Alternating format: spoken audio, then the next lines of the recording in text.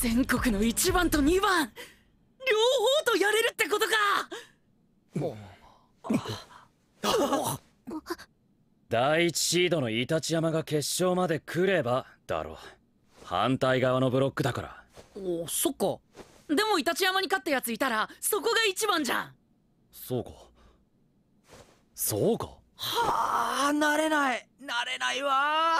お前らのその変な自信。お俺は。全日本だよ。全日本。19歳以下の日本代表。分かってんの？分かってるよ。えーとお声がかかっているのは影山くんだけですね。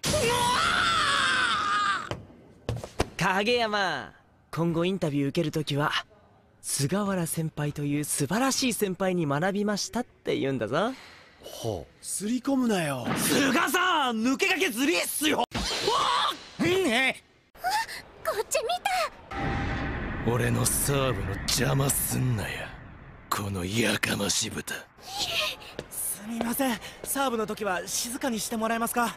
たな何よテレビでよくやってるやつじゃん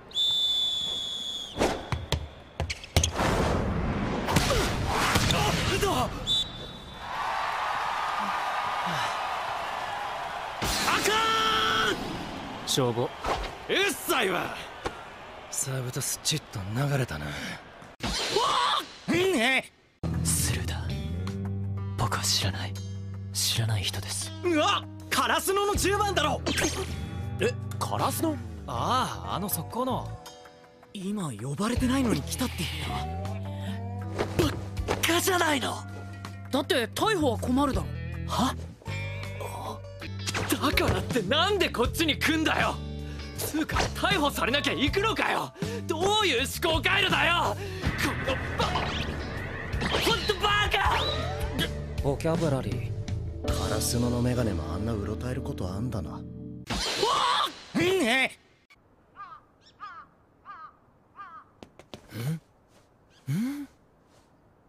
脈ありと送りましょうか。大丈夫。持ちます。練習して。今まで俺には脈がなかった。でも今の俺にはある。つまり俺は今生まれたということ？田中？しっかりしろ！お前はとっくに生きている。縁の下のせいだぞ。はいはい